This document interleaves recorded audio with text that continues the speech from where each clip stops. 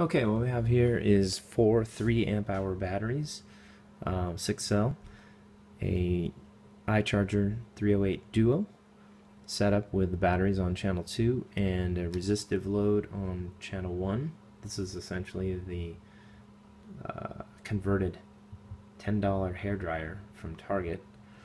Um, this is a Fluke amp probe uh, that will be reading amp on this meter here and this meter is connected to a thermocouple that is measuring the uh, Fahrenheit degrees coming out of the hairdryer resistive load and these batteries are all fully charged and we're going to attempt to discharge them at maximum capacity of 33 volts 30 amp regenerative uh, cross channel discharge into the resistive load and see if we can get it to go to maximum power. Uh, the first run, I determined that the input voltage, uh, input power to the iCharger was insufficient.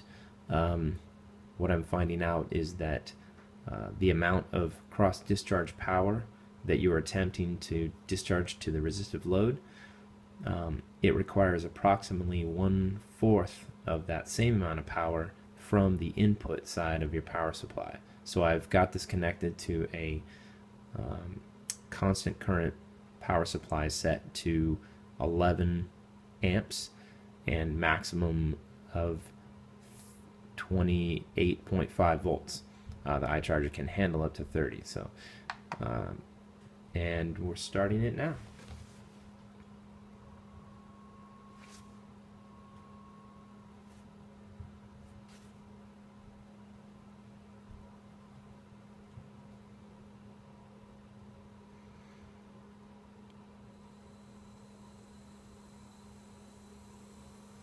Oh, let's turn the amp probe on, would be good.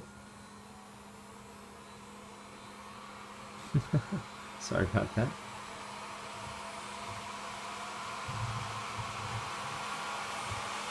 See the uh, temperature is going up and the amperage is going up.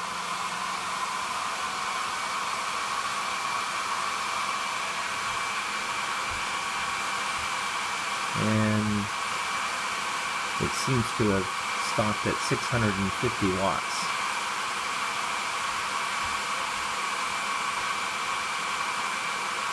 I'm not sure why. Um, about 150 degree output on the hair dryer. Theoretically, this should go another 150 watts, up to approximately 800 watts, and I'm not sure why it's not going further. Internal temperature is 105 Fahrenheit.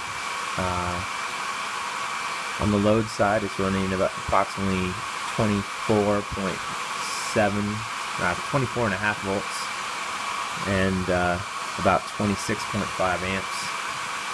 Um, I tested the load on this and it was about 0.98 ohms, which jives with everything that we're seeing here. So it looks like uh, it's not going beyond 650 watts. So anyway, um, need to do some more investigation. Cheers.